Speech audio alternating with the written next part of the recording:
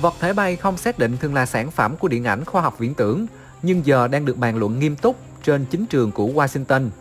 Trả lời ABC News ngày 21 tháng 6, Tổng thống Donald Trump xác nhận có tồn tại những báo cáo về các vụ đụng độ giữa Hải quân Mỹ và UFO. Ông nói đã xem, nghe và đọc qua những báo cáo bí mật này. Ông chia sẻ, tôi đã nghe một buổi giải trình rất ngắn về vấn đề này. Mọi người nói họ nhìn thấy UFO. Liệu tôi có tin điều đó được không? Tôi chưa dám chắc. Tôi nghĩ các phi công tuyệt vời của chúng ta là người sẽ biết rõ nhất. Chúng tôi đang theo dõi vấn đề này, các bạn sẽ được thông báo đầu tiên.